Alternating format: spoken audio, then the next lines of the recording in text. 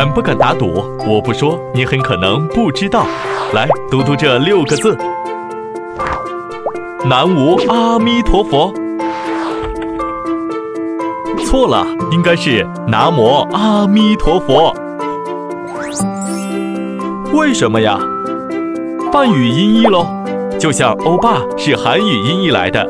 古时的南无读作拿摩，与梵语发音最接近，于是就选定了这两个字，并一直沿用至今。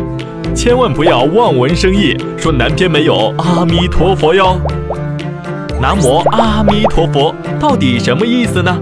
先从字面意思看，南无是归命，阿弥陀是无量光明、无量寿命，佛是觉悟者，合起来就是归命无量光明及无量寿命的觉悟者。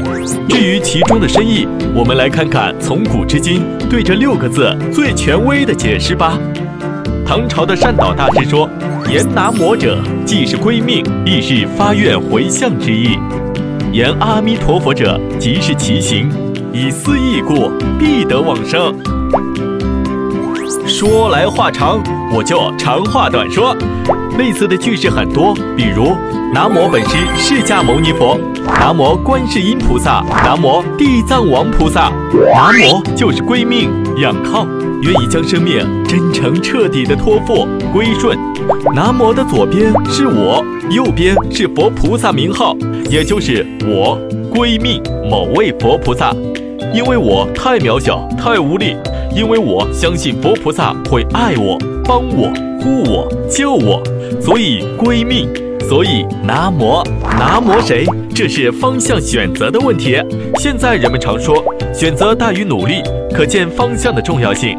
上一期我们说过，阿弥陀佛是佛中之王，光中极尊。发了四十八大愿救度众生，所以归命仰靠阿弥陀佛是绝对靠谱的，当然选择他喽。言阿弥陀佛者，即是其行，就是在我们愿意归命仰靠阿弥陀佛的当下，他的全部修行功德就是我们的啦。好比我们坐上车的那一刻，车向前走，我们就向前走，车的速度就是我们的速度。所以南无阿弥陀佛。归命阿弥陀佛，我们看上去像是没有修行，其实修得很厉害呢。这就是高妙的无修而修，不行而行。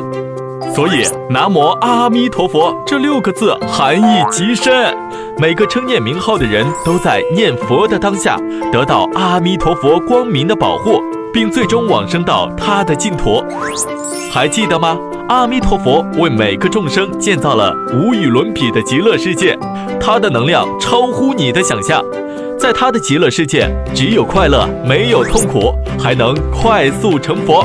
所以念南无阿弥陀佛，就是乘着佛力去极乐世界。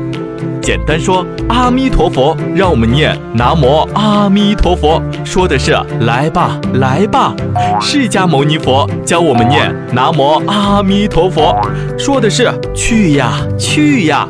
我们念南无阿弥陀佛，说的是来啦，来啦。